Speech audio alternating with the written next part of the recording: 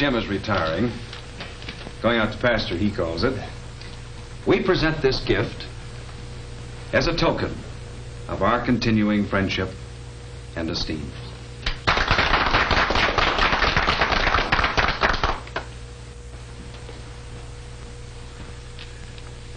Well, fellas, I really can't tell you how much this means to me.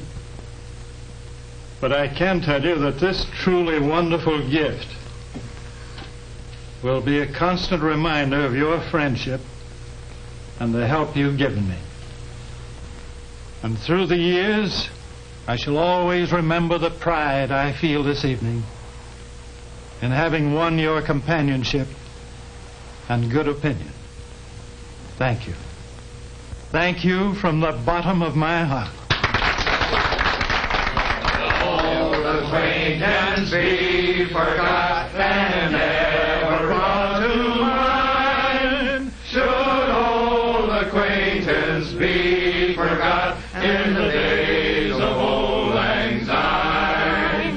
For old lang my dear, for old lang we'll take a cup of I'm so proud. Oh, just wait till the gang sees this. Hey, kids, come on the running. Oh, it's just perfectly perfect. And so are you, both of you, Mom and Dad. Well, Sally, you're our big girl now. Mother and I wanted our present to tell you just how proud we are of you. Riley, what is it? Close to Mrs. Brown. Oh, my God. Oh, that's beautiful. Oh, oh, I could go chemistry twice for something like that.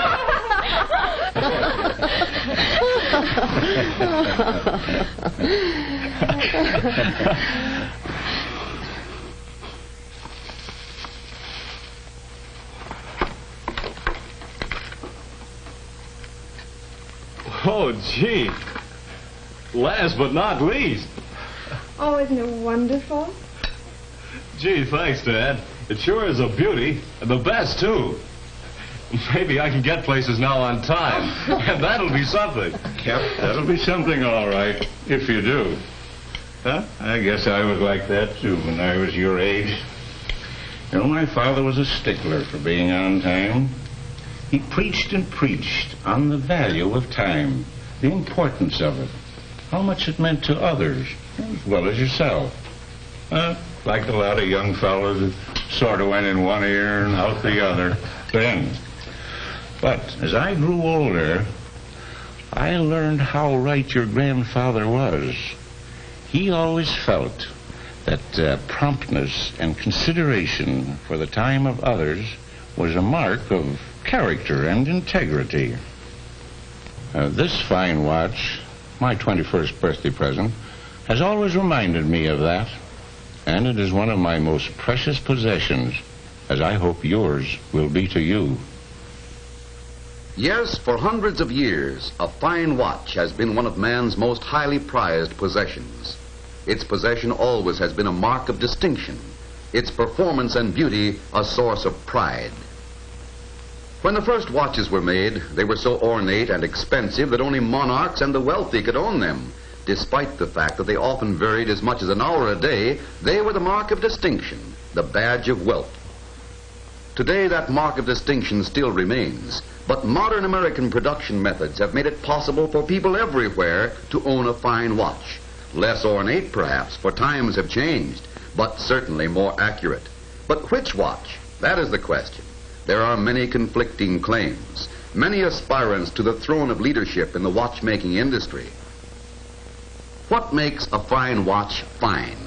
There are many things. First, the name and reputation of the company. And that is important because a good name and respect can only be gained by quality of product.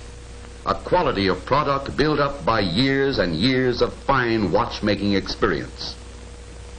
But before you can even begin to make a really fine watch, it takes people. Many people of long experience, people with ideals and ambition and pride in their craftsmanship, together with vast facilities built up through years of patient development. many buildings, special tools, and much equipment, many laboratories for never-ending research to maintain the spirit of pioneering, of leadership in research. It takes a record of performance, too, through time itself. Time, the test of any product, during which a product survives, grows, and becomes a byword for satisfactory performance through long years of service. And it takes the preference of people who buy and sell quality products, fine watches which are fine all the way through. So let's go into a fine watch factory and see what it takes to make a fine watch and why everyone can't do it. We'll begin with people. People chosen carefully on the basis of rigid tests, job selection and classification for exactly the right skills and temperament. People who, before they learn the trade, must first show that they can learn the knacks, the nimble fingered dexterity to make them successful in their jobs. It takes almost a year to make a really fine watch, but it takes years to make a watchmaker, even under friendly supervision and the help of more experienced fellow workers. Because of these high standards, watchmaking is a career into which sons follow their fathers, adding their youthful spirit to the accumulated experiences of the years. And here, a career is more than just a job. Nearly half of the employees in this fine watch factory have been with the company for five, ten, fifteen, twenty, or more years. And some certain few of these, with the company more than 50 years, go back in memory and experience to the first Hamilton watch ever sold. This watch, built more than 54 years ago, can still pass rigid time inspection tests for railroad service.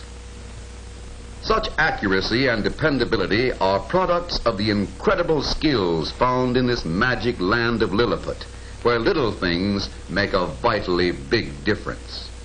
Yes, to make a fine watch fine takes fine people, and it takes the most modern facilities for designing and making the tools and equipment to manufacture fine watches as well.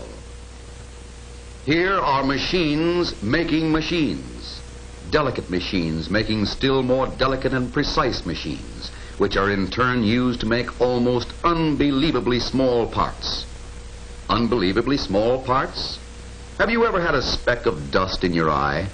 Some of the actual watch parts are no larger than a speck of dust. This speck is a watch screw actual size. And alongside is a model of the screw, enlarged 100 diameters. And there's enough metal in the enlarged model to make one million actual screws of this type. Modern facilities, miracles in miniature. On this machine, watch screws are made complete with exquisite precision. Yet they are almost invisible to the naked eye. Here in this small pillbox are 300,000 tiny screws, a full year's output of one of these amazing machines. So in a world of fascinating smallness, highly skilled people work with fine machines to a superfine degree of accuracy in every step in manufacturing, like making extremely small axles called balance staffs with tolerances from the absolute point of accuracy to only one ten thousandth of an inch.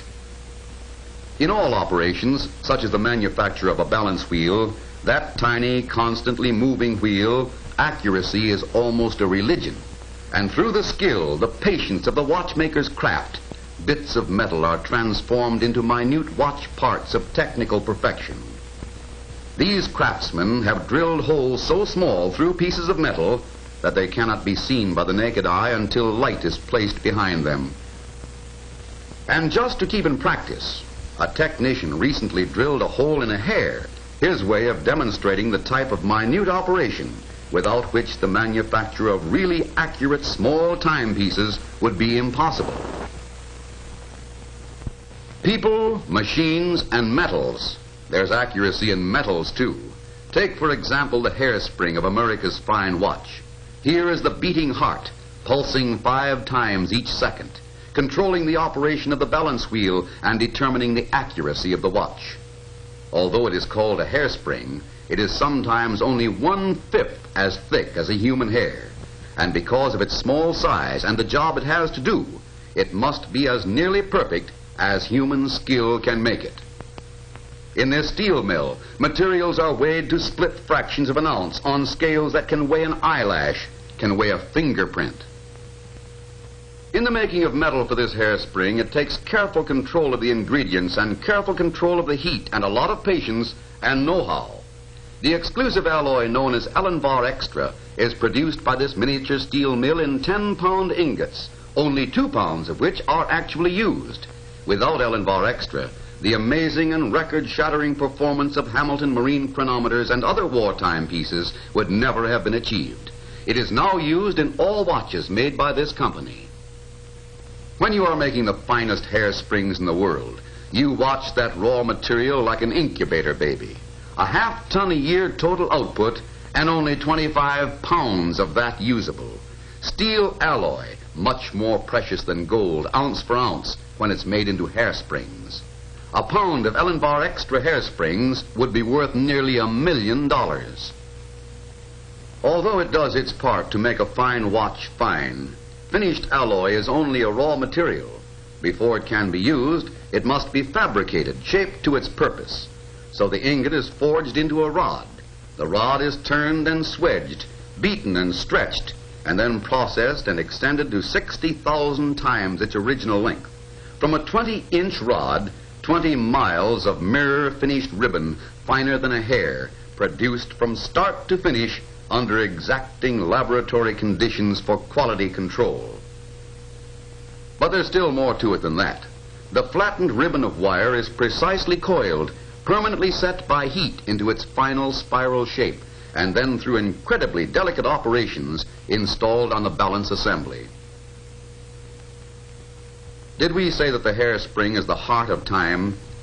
Did we say that the accuracy of a really fine watch is determined to a large degree by the accuracy of its tiny hairspring and balance wheel?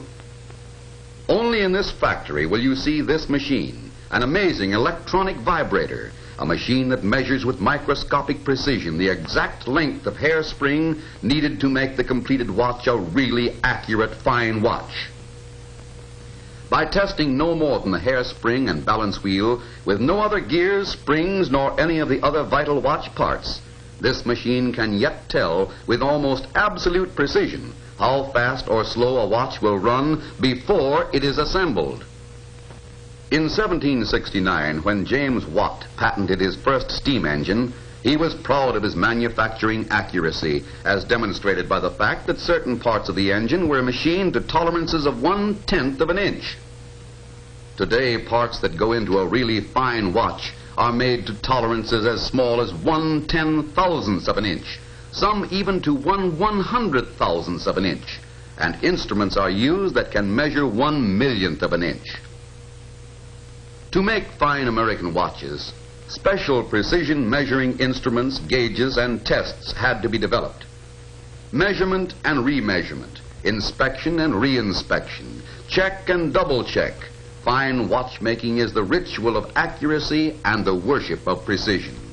Of the 2,000 operations which go into the making of a fine watch, nearly half are inspections, and 20% of these are double inspections, or inspectors inspecting inspectors. A speck of dust and 40 pounds of bread dough. What has this to do with watchmaking? A great deal, it seems, when you realize that every morning this amount of bread dough is mixed and used throughout the factory to remove specks of dust, chips, and filings from small parts which have just been machined. Bread? Then how about honey to go with it? Ordinary honey is used to hold tiny jewels together during the manufacturing operation.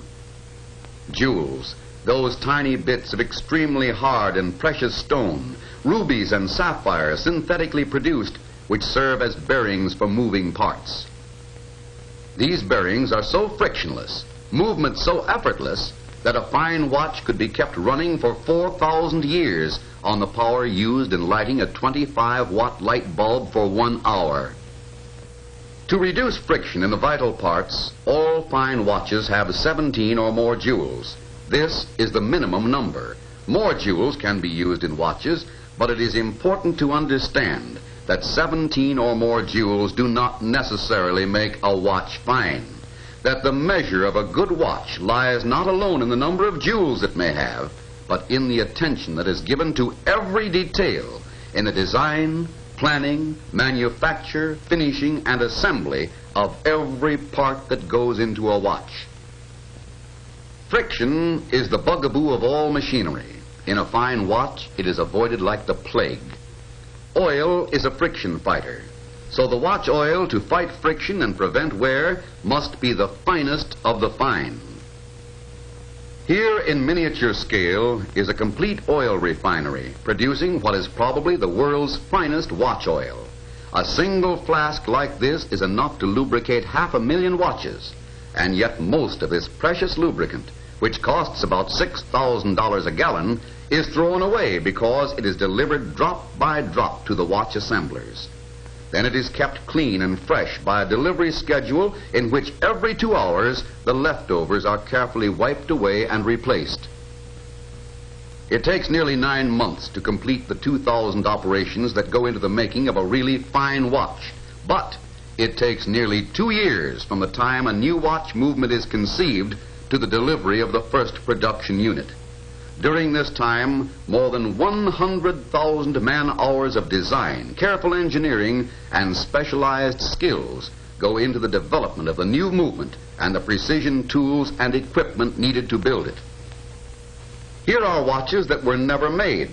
That is, after time and money went into their development, they were never put into production because they didn't measure up to the standards which make America's fine watch.